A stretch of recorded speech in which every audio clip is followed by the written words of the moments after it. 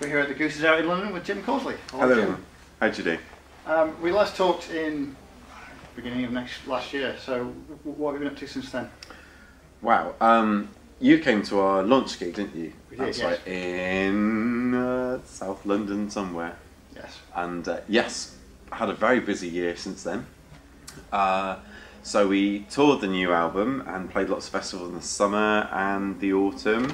And then we uh, went up to. Uh, when did we go? Oh no, Mawkin didn't come. That's right. Uh, I went on the Christmas tour with Waterson:Carthy again in December. Yeah. and we did all the uh, the Christmas carols, things like that, which was great fun as usual. And uh, and then here we are round again. So had a sort of um, busy January with uh, the radio show I've been doing in Devon, and um, and then February kicks into gigs again. So. Marvellous. Um, what's the current state of play with, with Mawkin:Causley? Well, uh, uh, we've, as uh, a few members have decided that they'd like to leave to other things, and the initial plan was to replace some of those members with people who played the same instruments or maybe a completely different instrument. And then more and more people decided they'd actually like to go and do different things, so we've uh, decided to. Uh, honour our gigs up until the summer and then we're going to go off into our own separate projects because we've all got some quite exciting things we'd like to get our teeth into. So is Shrewsbury going to be the last last gig? That's together? correct, Shrewsbury. yeah. Very sad. No, it's not sad. It's very positive. Lots of exciting things to come. Jolly good. Well, can you tell us a bit about some of those then? Um, right. Um, well, I can't speak too much for other people, yeah. although I, I can say that uh, Mr. Dave Delarre has got uh, a new solo album coming out, which is something to look forward to.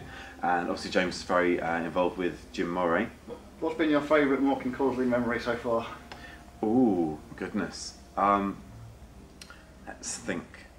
Stealing Show of Hands audience is quite handy. That was fun actually. We got uh, Show of Hands kindly have taken us under their wing and uh, let us support them at several gigs. Yeah. And uh, they attract a huge crowd, and it's been so brilliant to play to their kind of audience, and uh, and also be on a CD with them, which has been really good fun. Yes, really good. Um, so yeah, that was a really great experience. I enjoyed that. Um, what else? And also getting to go to the folk awards is always a pleasure yeah. with Mawkin:Causley. Um, so uh, sadly, we haven't won again. No. I know we keep getting beaten by Scottish people every year. Although, although you were nominated before you had a record out. That's true. Yes. So um, There's not many people do that. that's true. Oh, we should write that on our CV. That is pretty good, isn't it? Yeah. You mentioned your radio show a couple of times. yes. How did you get involved with it? Uh, well, um, when I finished university in 2006, uh, my housemate helped me make a, a demo radio program, uh, which was something I had an idea of because I noticed that several regional BBC stations had their own uh, folk show, but Radio Devon, where I'm from and where I was intending to move back home to after uni, didn't have one. So I thought that would be a really good idea. So I sent them a demo and um, didn't hear anything for about three years. and then uh, eventually, um, um, my friend Jackie Oates, who also lives in Devon, she said she'd been to Radio Devon for an interview and she'd heard that they were interested in doing a folk show. So I got in touch with them and uh, they said they had never heard my demo, which I'd handed into them, but nonetheless, they were quite interested in doing a folk show.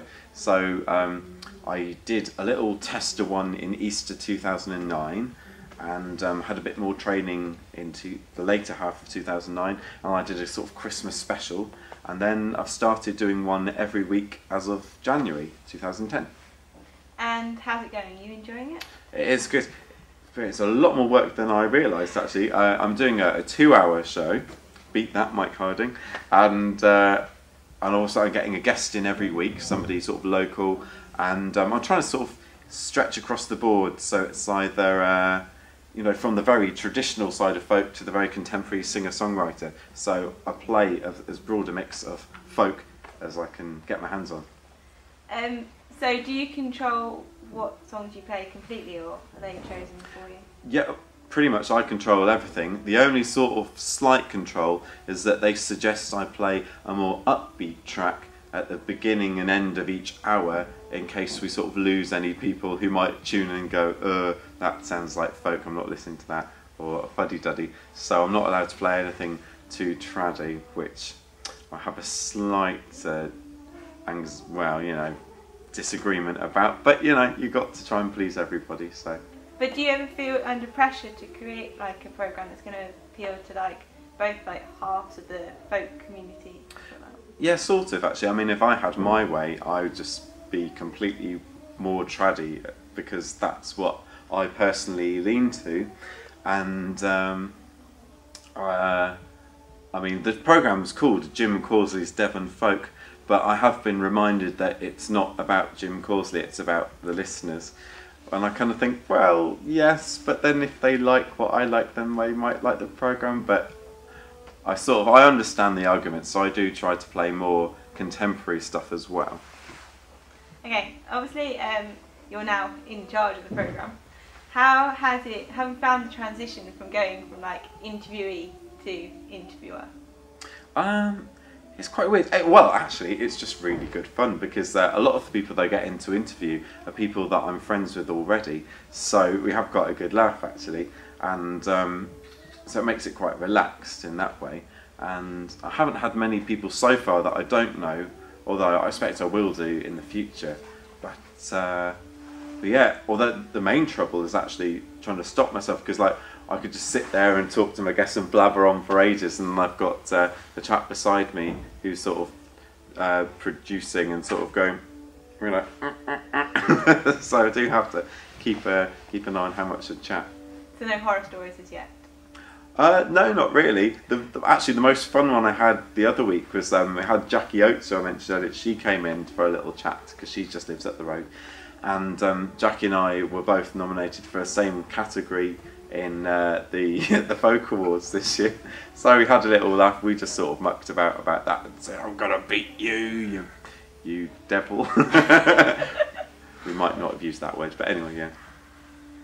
Okay. Well, um, obviously, folk's been going through this big sort of like renaissance like period. Have you noticed any sort of like major changes in the way that folk as a genre is being perceived uh, over your time as like being an actor? Like? Yeah, um, especially at the moment, there seems to be two main sections of folk. There seems to be like the more traddy end, and like even though you've got young and up and coming people in that end of folk, that is still kind of traddy, and then you've got the new folk scene, which is more singer-songwritery generally than traddy, and uh, and the weird thing I've noticed about the two separate bits, I think, is that the, the traddy end, especially the younger lot, are trying to be as cool and modern looking as they can, whereas the new folk lot, who, who are the more generally trendy, Londony end of things, are actually trying to look more oldie worldy and 70s sort of in there, which is quite bizarre, but I'm enjoying just sort of being a part of it and watching what's going on. And have you um, ever have you noticed like there's been more of a shift in opinion for like the teenagers that you get involved with? Like, Um, we're definitely seeing more younger people coming to gigs. Actually, um, it really depends on the venue that you play.